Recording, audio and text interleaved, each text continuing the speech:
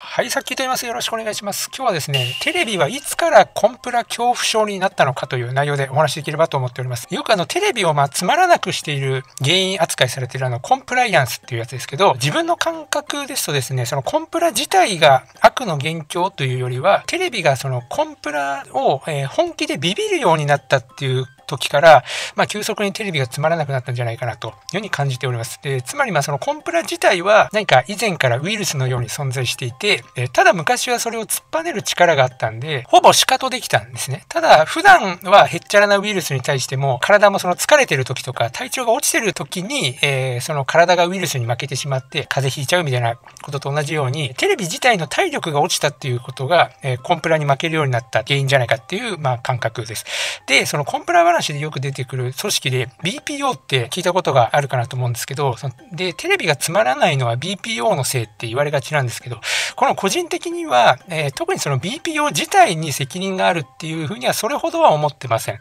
なぜなら、えっと、BPO って基本的には、まあ、何か自発的に問題提起をしてくるっていうよりは、テレビが何か問題を起こした時に対応をしたりとか、あくまでもその視聴者から何か集まってきた声をもとに意見を言ってくるっていうイメージなんで、まあ、BPO のせいというよりは、なぜ視聴者からの批判が増えたのかとか、まあ、そもそもなんで BPO っていう組織ができたのかっていう、そのあたりのこの根本の原因を取り巻く、まあ、社会情勢みたいなことの方が本質のような気がしています。じゃあ BPO という組織がなんでできたのかっていうところからの話なんですけど、これ設立が、ま2003年でして、ちなみにこれあの自分がテレビ業界に入ったのもちょうどこれぐらいのタイミングなんですけど、で、この BPO 設立2003年なんですけど、実際は97年ぐらいには、えー、BPO の全身の形ができてたりしてたんで、90年代後半ぐらいからこういったテレビをまあ、第三者が監視していくっていう意識が高まってきたんですね。で、じゃあなんでこのタイミングだったのかって言いますと、えそこにあの2つのですね、大きなニュースが関係していると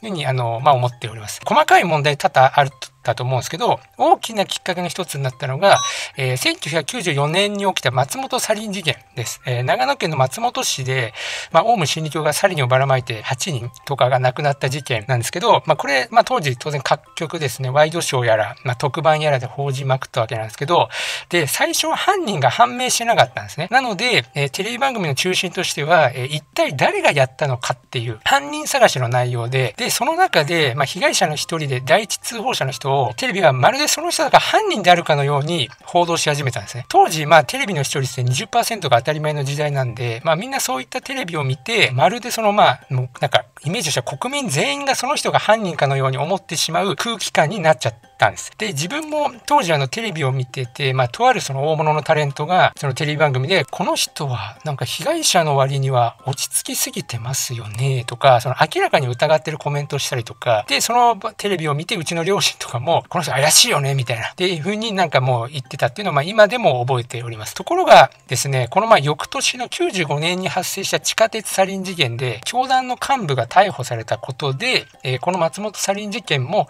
そのオウムの犯行だったっていうことが判明しました。するとですね、そのマスコミはまあお得意の手のひら返しで、その散々疑って報道してた人のことは何もなかったかのように忘れてですね、一気にオウム一色に変わったんですね。これによってそのテレビの、まあ、その人の人生を変えてしまうほどの、なんかその影響力の大きさとか、まああと報道のその雑な性質みたいなことがまあ浮き彫りになったと。で、それが一つで、あともう一つ大きなニュースは、えっと、子供のいじめ問題です。えっと、1994年にある中学生がですね、いじじめを苦に、まあ、自ら命を絶ってしまったっていうニュースがあって、えー、まあ、今では結構よくあるんですけど、当時、まあ、そうなかったんで、まあ、ワイドショーでもまあ大きく取り上げてですね、で、この辺りから、その子供のいじめ問題っていうのが世間も含めて注目されるようになってですね、で、テレビではそのタレントとかが、いじめは絶対ダメみたいなことを言い出したりとか、まあ、いじめをなくそうみたいな CM が流れたりとか、95年に放送された人気ドラマの、えー、金八先生第4シリーズでは、まあ、テーマがいじめ問題で、えー、そこまあこんな名言が生まれたと。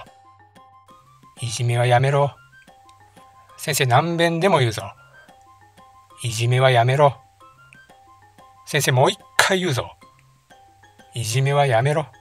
先生まだまだ言うぞ。当はあと6回ぐらい繰り返したいところなんですけど、今日はこの辺にしておきますが、さらにはですね、ちょうどこの頃から世間ではセクハラとかパワハラっていった言葉も出始めた頃で、このまあハラスメント意識っていうのも高まっていました。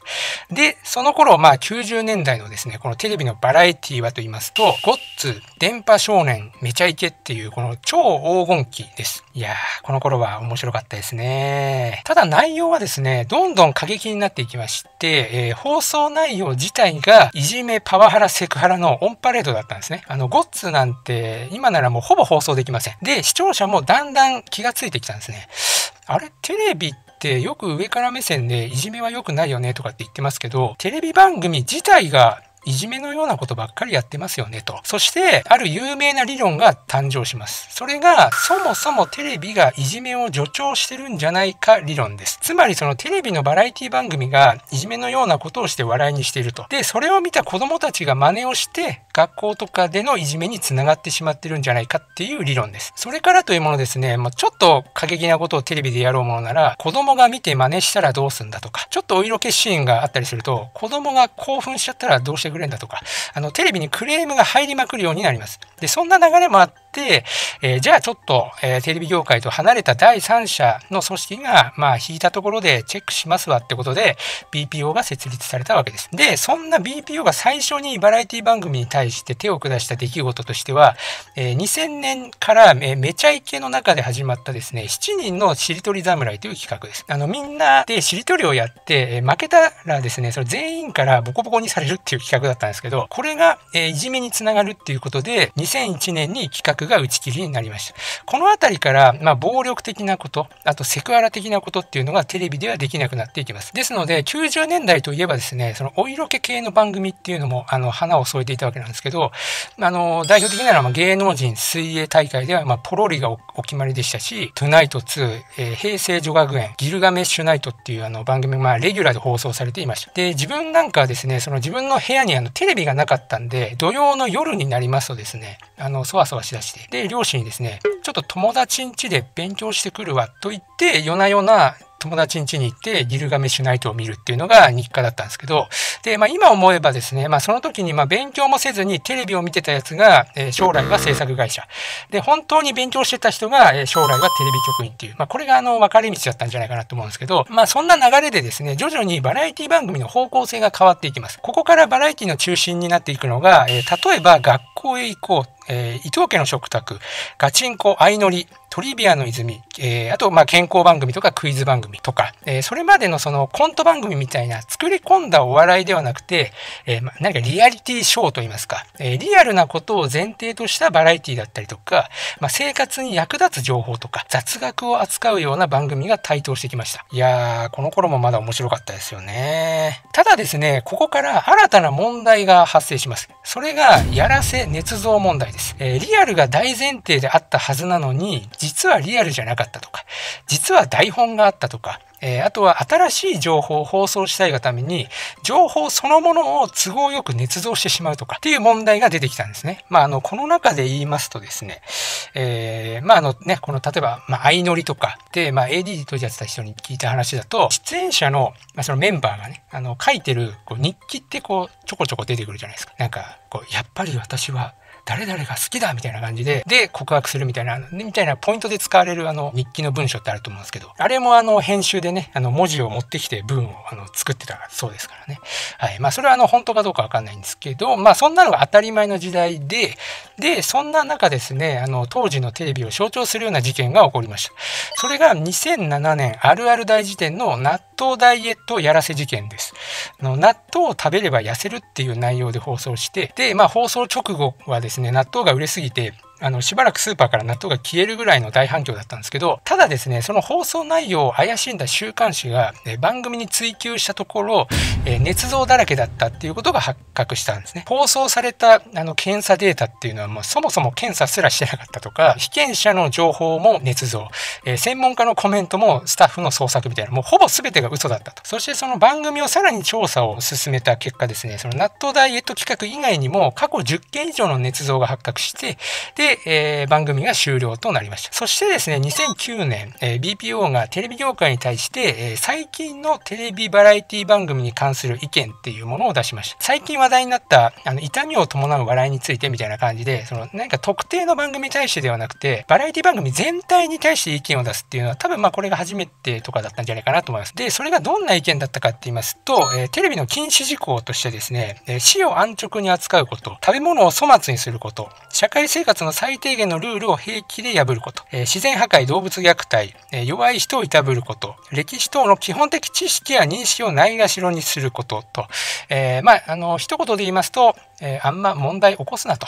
ね、あの、ちょっとちゃんと作ってくれよと。まあそういうことですね。で、まあそんな BPO からの意見を受けて、え、当時のテレビ業界、まあどう感じていたかと言いますと、正直ですね、はっていう感じだったと思います。あの、まあ言いたいことはわかるけど、実際無理だよねっていう感じです。そもそもですね、あの、批判っていうのは以前からあったんですね。AD の仕事でオンエア対応っていう業務がありまして、で、それはあの、担当した番組の放送中にですね、テレビ局で電話番をするっていう仕事なんですけど、それが放送中にまあ放送を見てる視聴者から電話がテレビ局に入ってくるんで、で、その対応をすると。一応名目上は視聴者からの問い合わせとか、まあ、例えばテレビで紹介されたお店の情報が知りたいとか、まあ、そういった問い合わせが来た時の対応のためっていうのが大義名分なんですけど、これは実情はですね、のただのクレーム対応です。あの放送中ずっとクレームの電話しか来ないんですね。まあ、あの電話の呼び出し音がもうすでに起こってるぐらいに聞こえてくるんですけど、なのでもう、はい、クレーム対応室ですってなもんです。例えばタクシーの後ろに乗る場面でシートベルトをしてなかったりしようものなら、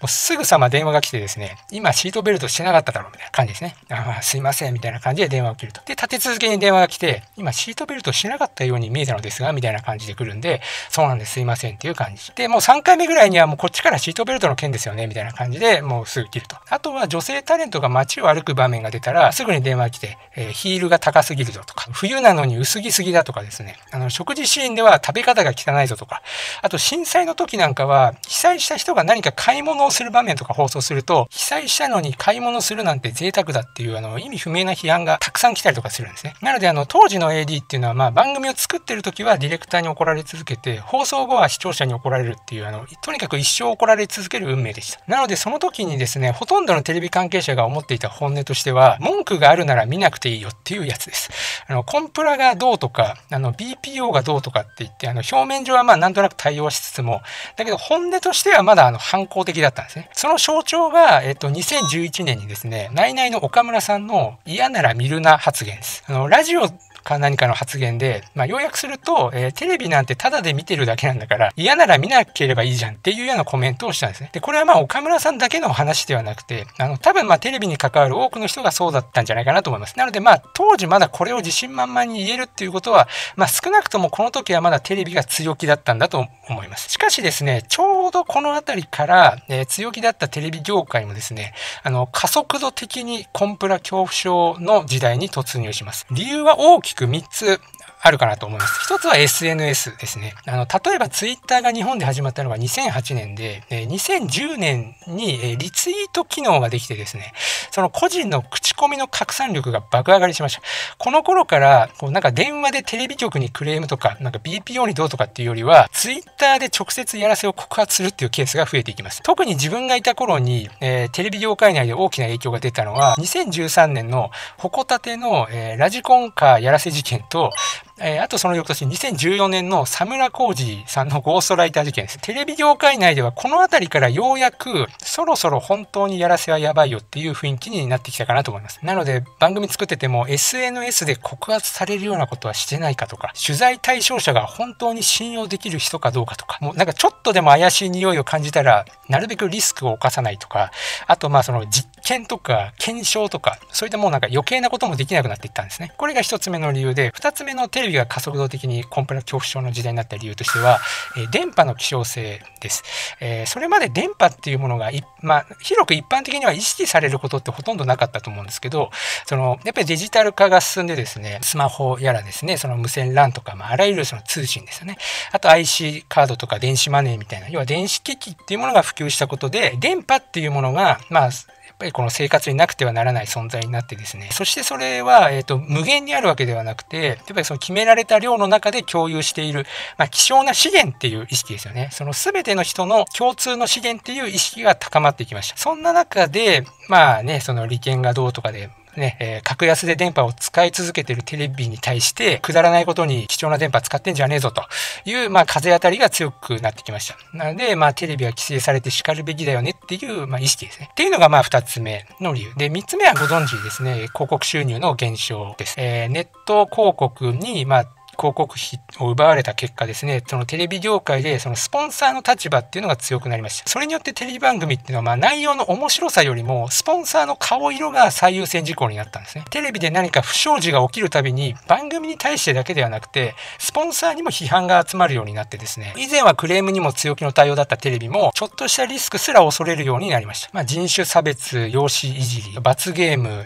ネット風呂、まあ、車のシートベルト、路上喫煙シーンとか、あとまあ不祥事を起こしたタレントはまあ起用しにくくなりますし、あとまあ個人情報ですよね。もうなんか許可を取ってない人はもう基本全員モザイクとか、えー、あと細かいことだと、なんか店で例えば買い物をしてとかご飯を食べてとかでお金を払うシーンを必ず入れなきゃいけないとかとあるあとアニメとかでも原付で2人乗りするシーンとかに視聴者からそれは違反でしょっていう批判があったりとか今そのドラマやアニメにまで批判が来る時代になりました。よくあの笑い話でねあのもう尾崎豊の15の夜はテレビで流せないんじゃないかなんていう話もありましたけどこれはあのもうあのまんざら笑い話でもなさそうです。そしてまあ2021年に話題になったのが BPO による痛みを伴う笑いについて審議を始めるっていうニュースです。この時はまだですね、審議を始めるっていう状況だったんですけど、えー、これがついにですね、まあ、今年の4月ですね、えー、BPO からの審議の結果が、えー、発表されました。それがですね、痛みを伴うことを笑いにする対象とするバラエティ番組は、